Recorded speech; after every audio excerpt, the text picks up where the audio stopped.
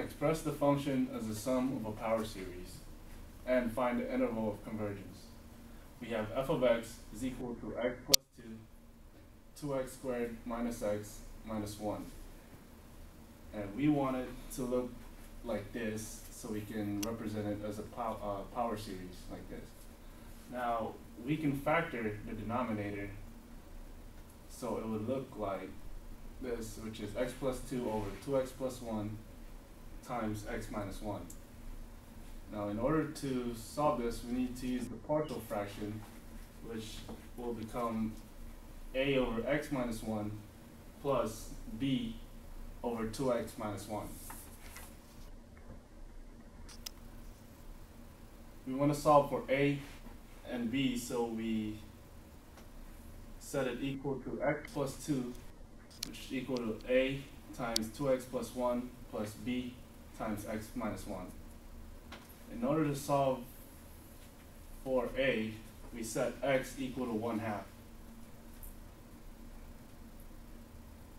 And we'll, we'll get negative 1 half plus 2 equal a times 2x times negative 1 half plus 1 plus b times negative 1 half minus 1, which will give us 3 over 2 is equal to negative 3 over 2 times b. And we divide both sides by negative 3 over 2.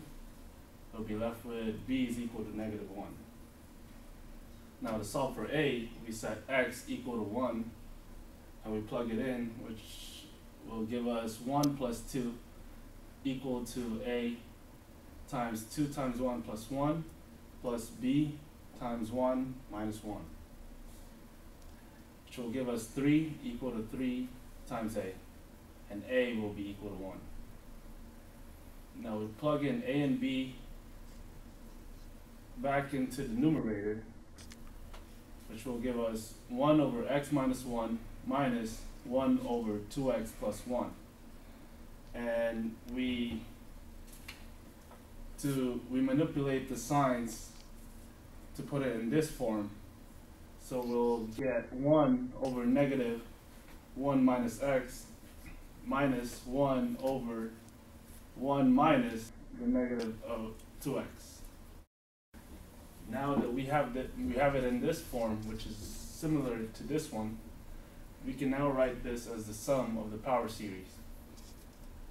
So now we have the negative sum of x to the n from 0 to infinity minus negative 2x to the n from 0 to infinity.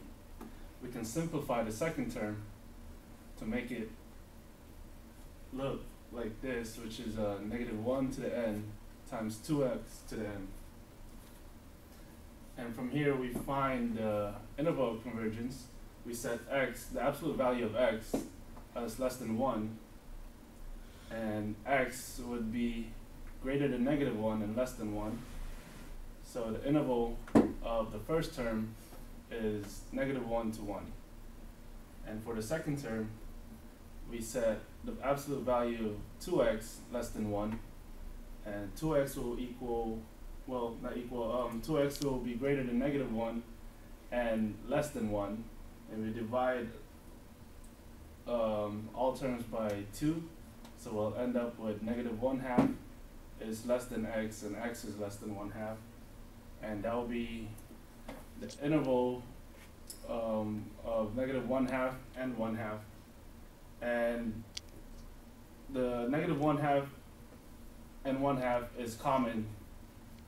So we'll use, um, so that will be the answer for the, for the problem.